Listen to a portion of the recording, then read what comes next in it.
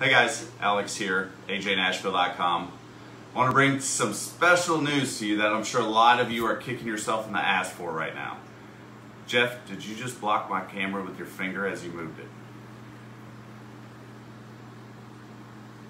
Anyways, a lot of you, a lot of people that I spoke to last year, be it real estate agents, other loan officers. Let me turn this fan off real quick. When you get bigger, you got to get more circulation. Um, a lot of people said, "Hey, I talked to this and this person, and they said I want to wait for rates to go down." Now, those of us in this industry who are professionals, and I say professionals because we are licensed, we are bonded, we have taken licensing classes. We've done everything it takes to be in compliance. Federal background checks, credit checks, everything.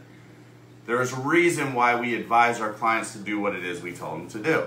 So, rates shit the bed today. What do I mean by that? So what I did is I did a, a calculation. I'm not going to disclose it because I don't want to go through all the, you know, NMLS number 302991, APR, XYZ, this, that, and another.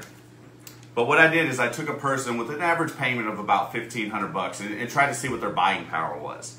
Now, I took an average rate from mid last year, which was a national average rate based on Freddie Mac's website, and I compared that to today's rates. Because as most of you know, rates change hour by hour, day by day, sometimes minute by minute.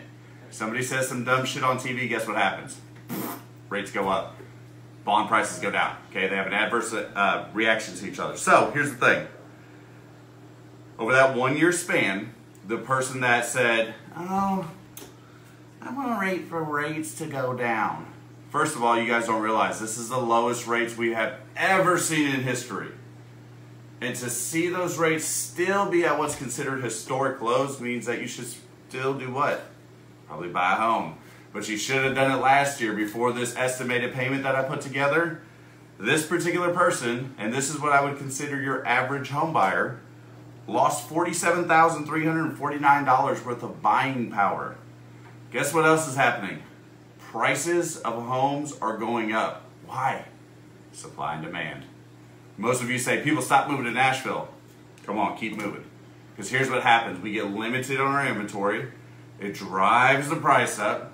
People buy the homes, but then the people that wanted to wait just lost an estimated forty-seven thousand. Say it with me, thousand dollars of purchasing price. That is literally the difference from getting the dream home that you've always wanted and being stuck in a shit shack because you waited. Sorry to keep it real. If you have any questions, you wouldn't be able to tell if there were. Jeff's not too tech savvy. I love the boy to death. But seriously, you can put a calculator in front of him and be like, I don't know how to play this video game. What do I do with this? So that's why Jeff has an abacus at his desk. Um, anyways, listen to the professionals. You hired a professional for a reason. Please start listening to them. I am a licensed loan officer for a reason.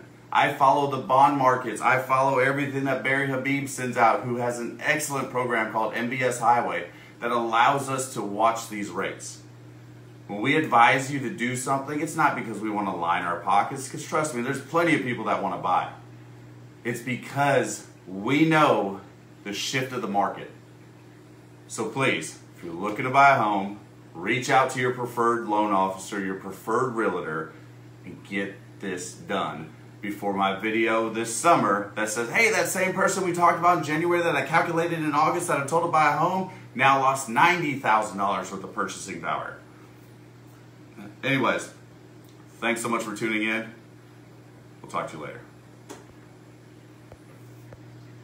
Can you not shut it off?